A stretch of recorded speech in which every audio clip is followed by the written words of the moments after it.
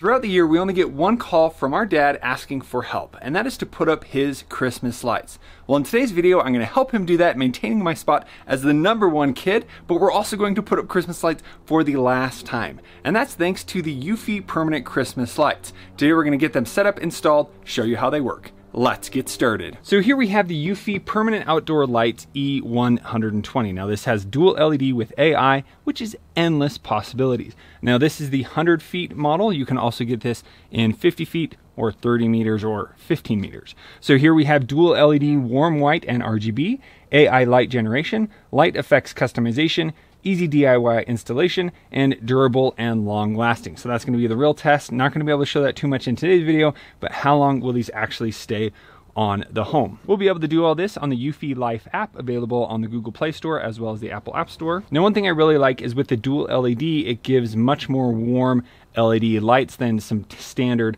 bright white LED lights. And then here it delivers three times the brightness with blended RGB white light, making them an elegant accent lighting, perfect for stylish daily lighting. So my parents will be able to use these throughout the year, not just during the holidays. And here we have non-repeating light design with AI. So instead of having the same standard lighting effect every single night, it will be able to automatically adjust based on the mood or other AI effects and lighting effects and DIY installation. I'll just be able to pretty easily install these. I had some professional installation in my house, but I'm excited to be able to try and do this all without screws, cable clips, and so much more. So let's see what's inside. We have the different lengths of LED lights. So here you can see there's different strands. We're just going to attach them together like this. And here is the different LED puck lights. So the main thing about this is you're gonna have this sticking under your soffits. I think it's gonna look pretty clean. So here we have the 3M adhesive strip that we'll place. So I'm gonna probably clean under that. So that comes with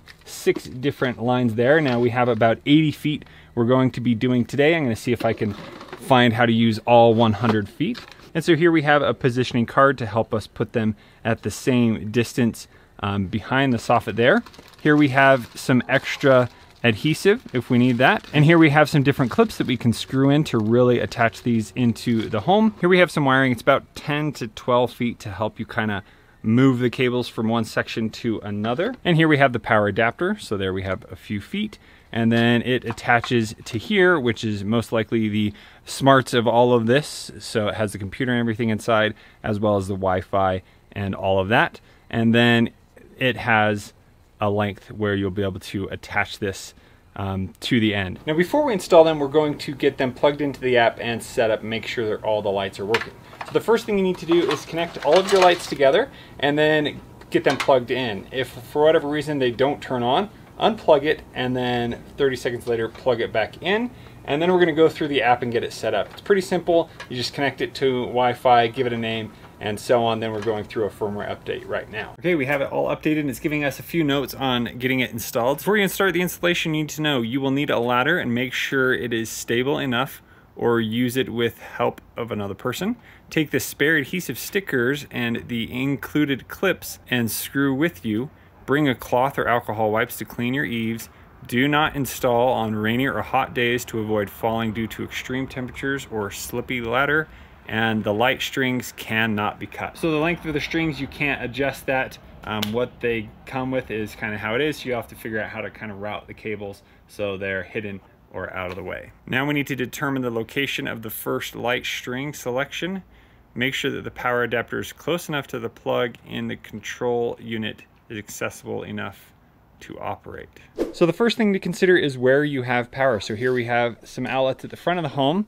When they built the house, they did have an outlet put up here for Christmas lights. So here we're going to clean that out and then I'm gonna see if I can get the wire to go all the way down to the end here so I can start at one end of the home. Starting at the outlet, we're going to plug it in, and then here I'm just going to mount the power adapter and kind of feed in the cables. And then from the end of the control panel, I'm going to take the cable, that's what I'm holding here, and there's about 10 feet, and I'm going to route it into this gutter. And right here, I'm actually going to attach the little extension cable. So that added about 10 more feet, and that perfectly gets us to the end of the gutter. Perfect. So here we have the power cable routing it under there, trying to hide the cables best I can. Now here, the power adapter and the control panel are sitting outside. It's recommended they go inside, but um, this is a pretty dry location. I don't think we're gonna have a problem with them right there. So let's go ahead and start cleaning under here and getting the lights installed. Each LED is covered with a piece of plastic, so make sure you have a helper nearby to help take that off so you don't forget when you put up the lights. Should we see if they work? No. So here, this is going to come around just like so. Now I'm going to check to make sure the light will fit where I want it to go. Then I'm going to use a little bit of alcohol on a rag, wipe off that area, wait a bit for it to dry, then peel off the 3M adhesive and hold down for 5 to 10 seconds. Moving to the next light, I need to make sure that the cable goes over the gutter here, and then I'm going to make sure that it's not twisted at all. Then repeat the cleaning process and sticking it and moving on to the next light. Now for a full permanent install, this is where you're going to add the clip and then screw it into the metal soffit here. And you will want to add these every two lights and maybe around corners and other spaces. This will help it so that if the adhesive fails, it will keep the lights up. I'm now going to continue repeating this process for the rest of the strand of lights. I'm then going to add another strand which adds 10 more lights and 16 feet to continue on. Now sometimes they don't line up. Now I was able to kind of just put one at the end. I like having one at the end of the line and then I was able to kind of hide the cable in there. So maybe if I left a little more slack between each of these, I could have done a better job at hiding some of that cable. Um, I guess you could try that out.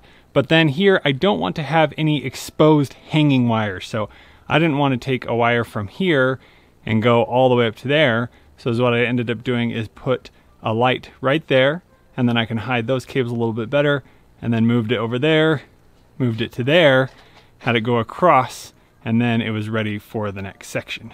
Now to get everything to line up perfectly, that's a lot of planning, but to be quick, we're just gonna keep going through. Here I have some extra wire, so I'm just gonna have to, again, hide it into the bottom of the soffit here. And here it is time for the next strand of lights. Now for each set, I just need to remove the Velcro. Here I take off this little paper tag. And then here you have a cap for the end that I'm going to cut off. You will only need that for the very last strand. So I'm just gonna remove it on this one. And again, here I'm gonna go over the downspout, plug it in, and carry on. The length between each LED is 18 inches, but when you do add another section, it expands it to 22 inches. Now I probably could hide that expansion so I could make them perfectly 18 inches between every LED, but the connector here is pretty big so that is hard to hide underneath the soffit. So we're just going to let it be. And in the end, it actually wasn't noticeable when there was the difference between the 18 or 22 inches. Now next we have this corner. I do like to align the lights at the very edge of the corner. So I'm just trying to figure out the best way to do that here. Here I just stuck the wire underneath the metal and I did my best to get it as close to the corner as I can. And now for the hardest part where I can't reach with my ladder. So I'm going to get on the roof and place all of these on blindly. Hopefully they all looked lined up and then making sure I'm just pulling tight with each light that I put on. And now at the very end, lining up pretty perfect. I do have one more strand I could use, but this is going to be where we finish it off. And then I'm gonna make sure that I use the end cap to cap it off to keep it watertight. Now I just need to figure out how I'm going to kind of hide the end here. And the best place to do it was just to kind of stick it under the gutter. Now I'm going to head back to the beginning, use some of the extra adhesive to mount the power adapter so it's not going to be falling down. And then here at the beginning, I had some loose wire that I was just going to clean up. Let's take a look at the full install. There we have the power cable going over here to the power adapter. From the control box all the way over here, we're using the extension cable in the gutter. That's about 20 feet, I'd say. And then it goes here where our first light is. Then our lights are run across here. So then it goes over here. I had it go up and around. So then you can see it going through here. And then right here was a perfect spot for one of those connectors. Um, so in this 100 foot set, there are six different lengths. So that makes it 16 feet per length of light, but then there are 10 lights per different section. So total, it's going to be about 60 light bulb. So there you go, another section going around this corner. Looks pretty good. So then I went all the way up. I had to make sure that the cable right there at the center wasn't drooping down. I may need to go and put a clip or two up there and then going all the way down here until we ended and I ended up only using five sections. And then here I tried on some of the spots to put the cable underneath the little soffit end there, but sometimes I just let it hang. So we'll see how that looks over time. So overall, the install was pretty simple. Long term, we'll see how this does hold up. Now, right now, I did not install the screws or the clips. That is when you want to have a more permanent solution. I decided let's go ahead and see how long it's going to last with just the sticky tape. We are in the sun over here, so we'll see how long that's actually going to hold up. But now I think we're ready to turn off the sun and turn on the lights and see what they look like. All right, it's now nighttime. Let's go ahead and turn on the lights. Oh boy, that looks pretty good. I'm pretty amazed at how well it lights up the house. Um, right now it's sitting at 50% brightness. Let's drop it down to as low as it can go. There you can see they're barely on.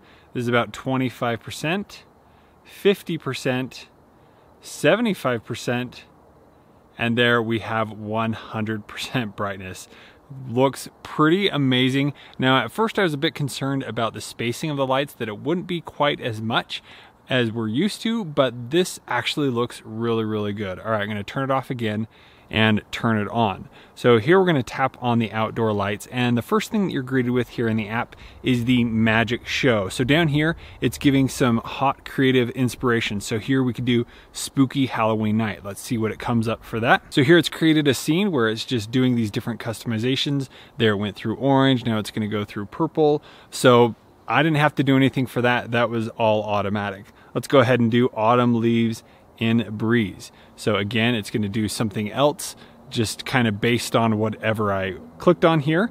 If we go over here to description, this is where the AI comes in and I can actually type in whatever I want. So let's go ahead and say birthday celebration. So here when I hit generate, it's automatically going to create a scene based on that. You can see here we have some fun different rainbow colors.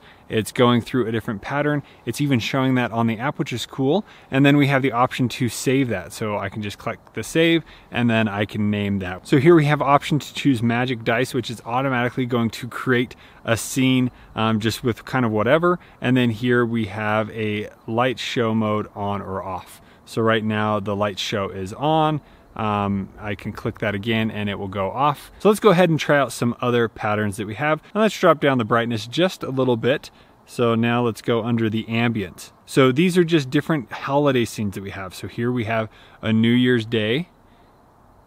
So it's kind of just slowly getting brighter and brighter. And all of these scenes I have the option to click the edit button there and I can change the speed. So here I can increase how fast that is able to work. I could save it if I like that speed better.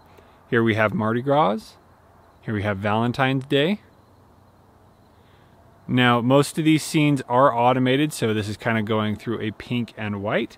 And if I click edit and I turn off the speed, then it's not going to animate anymore. Uh, my dad was actually liking how they looked when they're not animated. So if you want to use one of the scenes here, you can just go through and turn that off. Here we have Washington's birthday. A lot of days of the year that this would be great for. That just looks so good. April Fool's Day. Those are some pretty fun colors. Oh, look, they flicker. That's that's really cool. Here we have St. Patrick's Day. And I really like how in the app it's showing what is going to show up on the actual house. Easter. These are really nice presets. Here we have Mother's Day. Just a nice soft glow. Father's Day. It's pink or blue. Here we have Flag Day. And there one that's a little static. I could go in and increase the speed on that. Whoa. okay, a little too much. Okay, so it's just kind of going back and forth. Or I can just turn off if we like that solid color there. Independence Day. Labor Day. Halloween. It's kind of cool. Here we have Thanksgiving Day.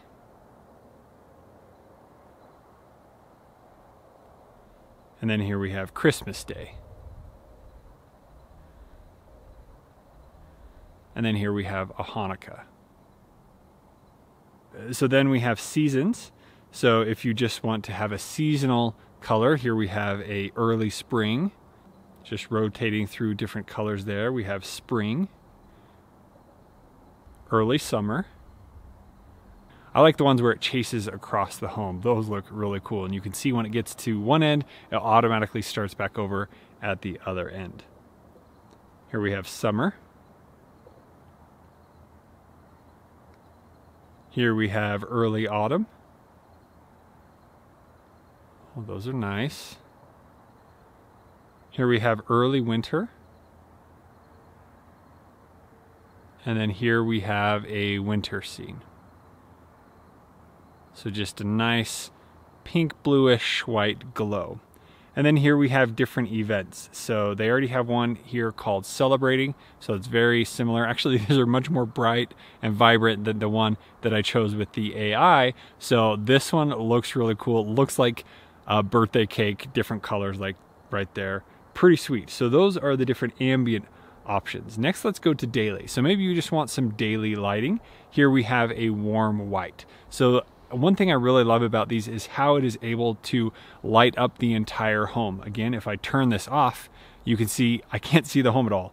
Turn it on, now I can see all of the part above the garage. I can see around the windows here. The only part that it doesn't really brighten up is back in the middle here where we have the lights pretty far away from the wall and that's just because of the awning here, but it is brightening up all of the sidewalk. So it's much easier for anyone coming to the home. They'd be able to see the path a lot easier. So I'm really happy with how that looks. I think we're really happy with how these did turn out. So that's the warm white. It's so nice to see a warm white versus a really harsh white. So this one I think is gonna be used a lot. It looks really, really nice. Next we have the cool white. So a lot more bright white, kind of almost bluish. This would be like your 6000 K on the Kelvin scale.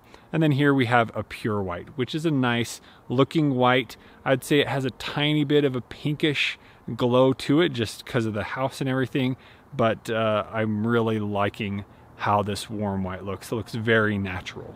And then here we have customized, so we can actually go through and create our own custom color. So my dad was out here already playing with these. He created an orange and purple. So there's a nice orange and purple color that looks really good. So I can actually go through and edit that and you can see how he chose all these different colors so that they flow together. So let's go and create a new one. So one of the ones that he wants is a blue and white one. So, what we can do is choose our color here. So we're gonna choose the blue that we want and then we can just tap on the color and you'll see it's showing that one bulb that is on. And so we could adjust the blue if we want to change that blue at all. Maybe I want it to be a little more light blue. And then I can go through and choose all the different ones that I want. So here, when you go to the next level, that's where you gotta, you gotta follow the path of the line. All right, so that is our first color. Now we're going to go and choose our second color. So now we got a white. We just click on the other ones. Okay, so now we have our blue and white. You know what? I think that blue is a little too light, so I'm going to go through. I'm to choose a new darker blue.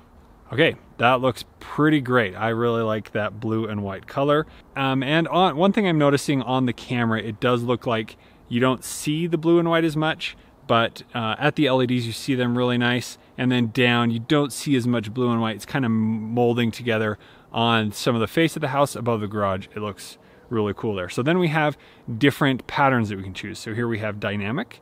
We could choose the flow where it is moving and I can adjust the speed down here at the bottom. So if I just want it to go a little slower, so now if it goes slower or really fast. Okay, we're gonna slow that down. Here we have flow two. When you only do two colors, it's kind of hard to see exactly what's happening. So I might have to try this again. Here we have streamlight. Okay, so it's going in and out between the colors. Here we have twinkle. So it's just flashing them on and off. And here we have breathe. So it's kind of pulsing the colors on and off. And I can make that go slower. I can make it go faster. Kind of cool. So really nice. I would like to see a little more dynamic options there from other lights that I've used at my house. I have a bit more control, but I think this is a pretty good set uh, for these lights. They are pretty good. So we're gonna call this one blue and white. There you go, it shows up as a favorite. Let's go ahead and erase every other one. So here you can see that made a little bit more accent lighting on the home instead of having so many bright lights you can have a little bit more accent. But anyway, so you can customize this to exactly where you would want lights and not want lights and make it a really fun accent. And then I can even like add more right over here over the porch or certain things. So I can really customize what that looks like. All kinds of cool customization you can do there. Now down here at the bottom, we have the schedule. Now by default, it's already set up a bunch of different schedules. So here it's gonna choose the warm white every night from 1800 hours to 6 in the morning. So that's a little long. I don't want these running all night long. So I can come in here and instead of 1800, I can do sunset and then I can have it go off at a little more reasonable time. And then here I could have it turn off at 10 p.m. or whatever. And it's actually going to use my location to find out where I am. So now it has that scheduled and here it's showing what lighting effect it's going to do. So right now we are in Halloween, so I'm going to go and choose my customize settings, and I'm going to choose the orange and purple and select save. So now that lighting effect has been saved for every day at that time.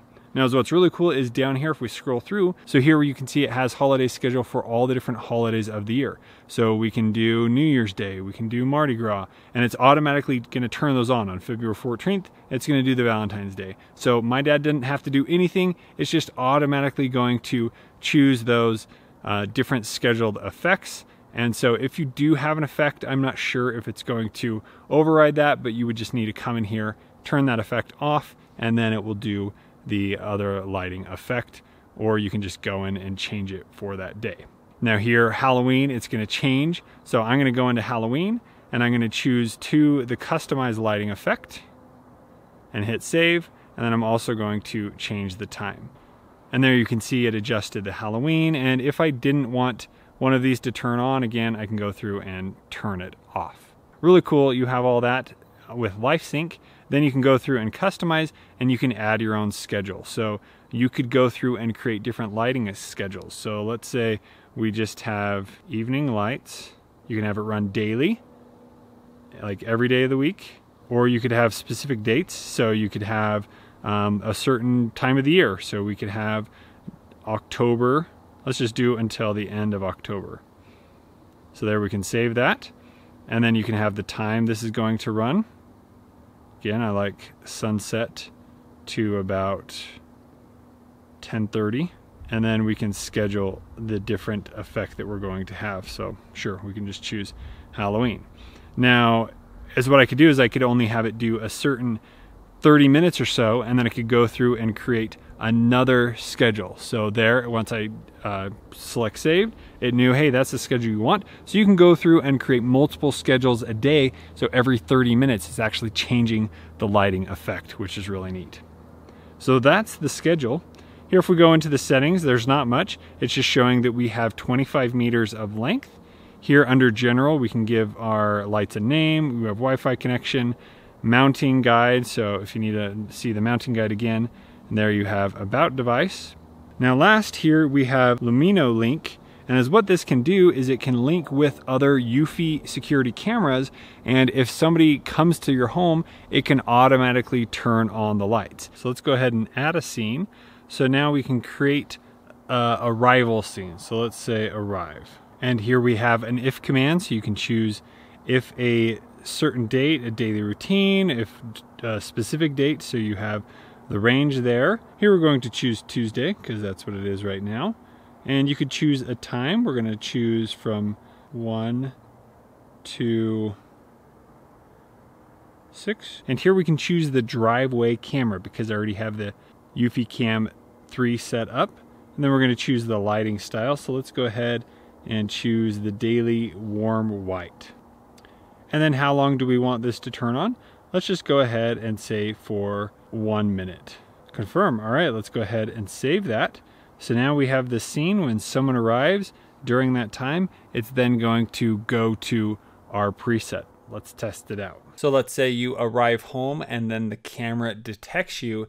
This did take a few seconds here for me. Um, I thought it wasn't going to work, but as soon as I decided to try to walk through again, the lights changed. So there you go.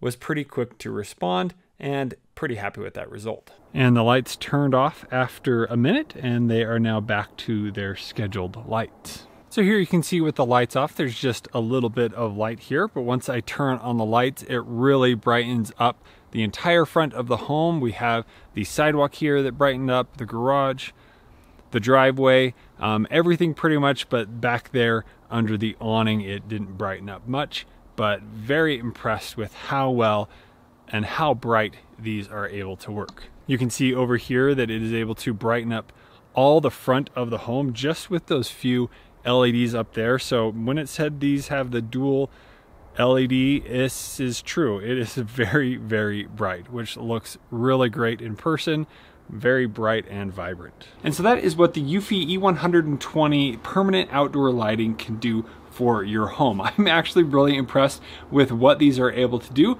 Hopefully over time we'll see some improvements in maybe some of the different effects that you can use and being able to customize some really cool effects. Now overall the install process was pretty quick, pretty simple. It did take me around three hours to get everything figured out exactly how I wanted it to run and fully installed. Now I didn't put the clips and the screws in. I just kind of wanted to test it out, make sure everything was working great before I ended up doing that. But I think I will go back. So far, the uh, adhesive on the 3M strip should work pretty great for a long time. Now, for the install, it would have been great if there were two different um, blank strips added. I used the one strip that came with it to be able to get this started in the right location. But if I had a second level and wanted to move these up higher, it would have been nice if I had another one of those. So it would be great to have those. You may just need to end up getting two kits if you want to have a second level so that you could add more there. And maybe you just need to get the 50 foot kit